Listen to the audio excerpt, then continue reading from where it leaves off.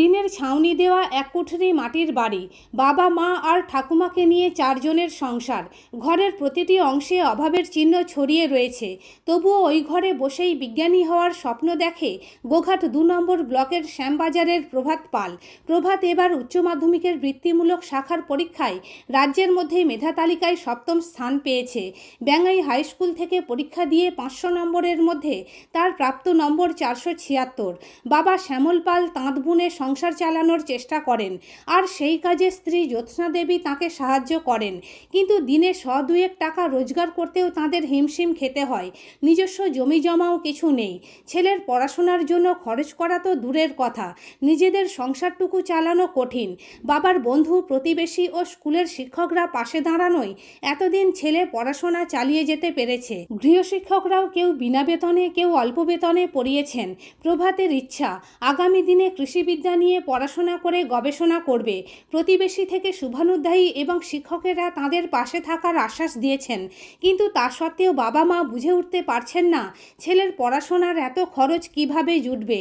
তাই তাদের আবেদন, সহৃদয় মানুষজন যেন তাদের পাশে আর্থিক সাহায্য নিয়ে দাঁড়ান, তাহলে হয়তো ছেলের বিজ্ঞানী হওয়ার স্বপ্ন একদিন সফল হবে। আমি উচ্চ মাধ্যমিক বৃত্তিমূলক শাখা থেকে পরীক্ষা দিলাম। তো আমি সারা পশ্চিমবঙ্গে সপ্তম স্থান অধিকার করেছি। তো আমার খুবই ভালো লাগছে এই স্থান অধিকার করতে পেরে।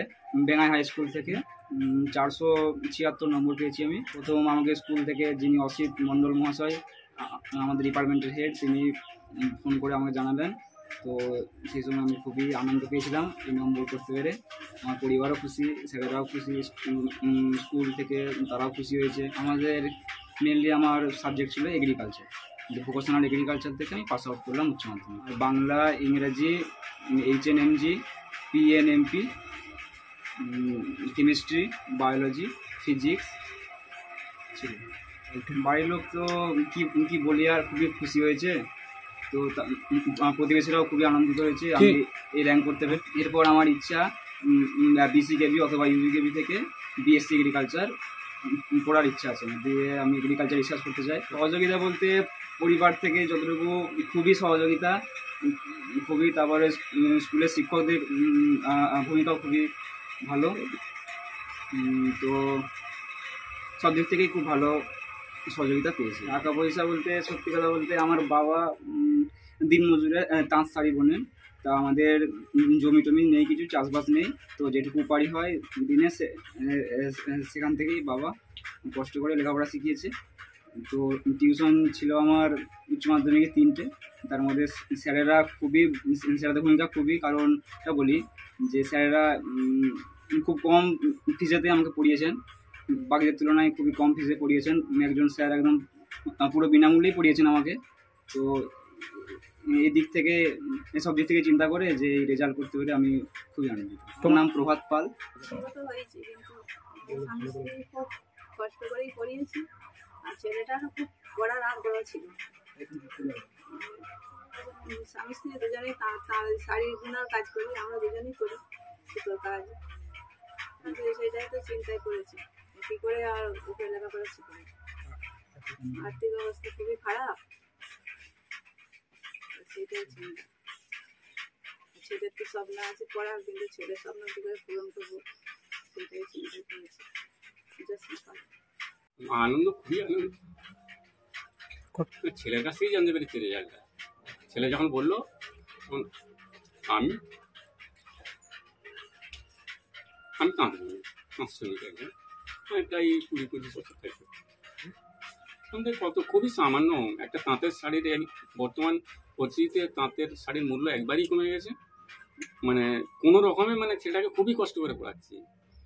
যেটা মানে মানে স্যারেরা যদি একটু সহযোগিতা না করতেন, ওনারা যদি টিউশনের টাকাটা খুব কম ফিসে যদি না পড়াতেন, আমি ছেলে হয়তো পড়াতে পারতাম না। তাছাড়া বিশেষ করে স্যারেদের, স্কুলের স্যারেরা খুবই সাহায্য করেছেন। এবং এখানে আমার এই বন্ধু খুব সাহায্য করে।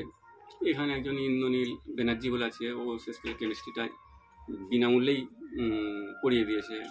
জমি জমি আমার কিছু নেই। ঘর বাড়ি বলতে এই এক কামরা ঘরেতেই আমরা মা ছেলে থাকি আর ওই আমার বৃদ্ধ মা। এর একটা স্বপ্ন কিন্তু স্বপ্নটা কীভাবে আমি পূরণ করব?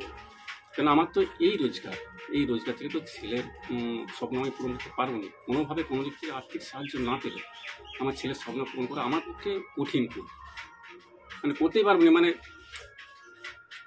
কোনোভাবেই করা যাবে না। মানে স্বপ্ন স্বপ্নই রয়ে যাবে কোনোভাবে থেকে কোনো দিক থেকে যদি আর্থিক সাহায্য না পায় হ্যাঁ নিশ্চয়ই আমার যতটুকু সামর্থ্য আমি চেষ্টা করব, বাদ বাকি মানে আমার স্থানীয় সব পাড়া প্রতিবেশী, তারা তো খুবই আনন্দ, তারা বলছে হ্যাঁ তুই পড়ি যা যা হবে হবে, পরে যা হবে দেখা যাবে।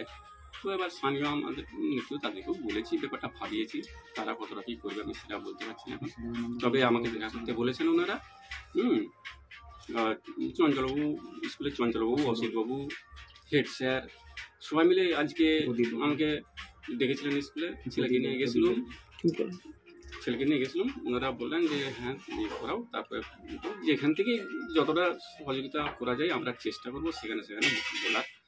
চারজন আমি আমার মা আমার স্ত্রী আর আমার ছেলে। প্রায় পঁচিশ পঁচিশ বছর পর্যন্ত দিনে কত হয়তো দু আড়াইশো টাকা আমি সত্যি সংসার এবং ছেলের খরচ।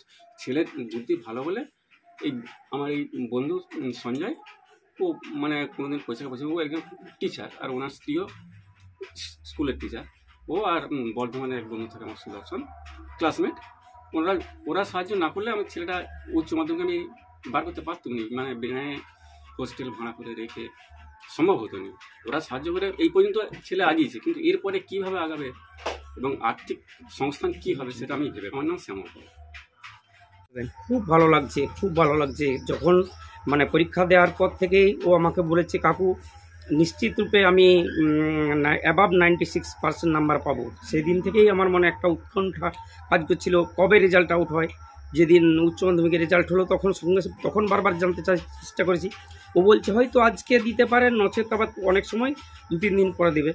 তো বুধবারে উচ্চ মাধ্যমিক রেজাল্ট আউট হলো শুক্রবারে রেজাল্ট যখন দিল, তখন একবার শুধুমাত্র প্রথমে গ্রেডেশনটা জানতে পেরেছে, পরে টোটাল নাম্বার তখন জানতে পারেনি, তখনও মনে উৎকণ্ঠা হচ্ছে টোটাল মার্কসটা কত। তারপরে যখন টোটাল মার্কসটা জানতে পারলাম এবং জানতে পারলাম পশ্চিমবঙ্গের মধ্যেও প্রথম সপ্তম স্থান অধিকার করেছে, আমাদের খুব ভালো লাগল যে, ওকে এই যে এগ্রিকালচার নিয়ে পড়ার ব্যাপারে উৎসাহিত আমি প্রথমে করেছিলাম যে এগ্রিকালচার ভারতবর্ষ কৃষি প্রধান দেশ। তাই কৃষির উন্নতির জন্য সরকার বা সরকার সবসময় কৃষির দিকটাকে দেখবে। কারণ আমাদের দেশে প্রায় পঁচাত্তর থেকে আশি ভাগ মানুষ কৃষির উপর নির্ভরশীল। তাই এই দিকটাতে বেশিরভাগ ছেলের আগ্রহ থাকে না। আমাকে, আমি নিজেও প্রথমে যখন আমি পড়াশোনার মাধ্যমিকে বিরাট রেজাল্ট করতে পারিনি ফার্স্ট ডিভিশনে পাস করেছিলাম, তখন আমার একজন মাস্টারমশাই বলেছিলেন, তখন আমি এই এগ্রিকালচার মাস্টারমশাইয়ের কথাটাকে আমি তখন ভেবেছিলাম যে এগ্রিকালচার মানে মাস্টারমশাই আমাকে চাষবাস করছেন। মাস্টারমশাইকে আমি সেদিন একটু অন্য রকমভাবে ভেবেছিলাম। কিন্তু পরে এই এগ্রিকালচারটা যখন জানতে পারি, আমি আমার বন্ধুর ছেলে প্রভাত, তাকে আমি পুরো এই এগ্রিকালচার নিয়ে পড়ার বিষয়ে পুরোটাই মোটিভেট করেছিলাম। প্রায় বাড়িতে আসতাম, মাধ্যমিক লেভেলে প্রায় প্রতি সপ্তাহে একদিন করে আসতাম। ওকে সায়েন্সের সাবজেক্টগুলোই সাহায্য করার জন্য, যেখানে যা হেল্প করতে আমার পার- পারতাম সেটুকু।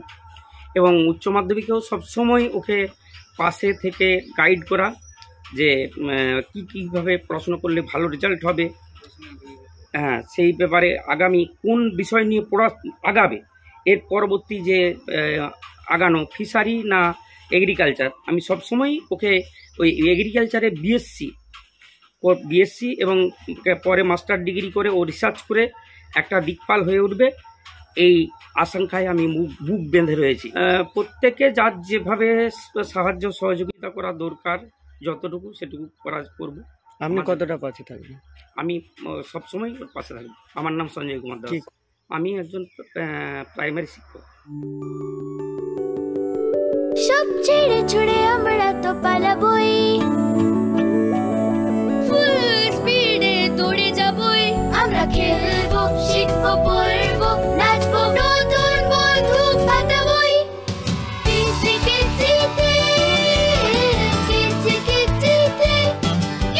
বাচ্চাদের কিডজি থেকে দূরে রাখা অসম্ভব। কিডজি ইন্ডিয়ার ফেভারিট প্রি স্কুল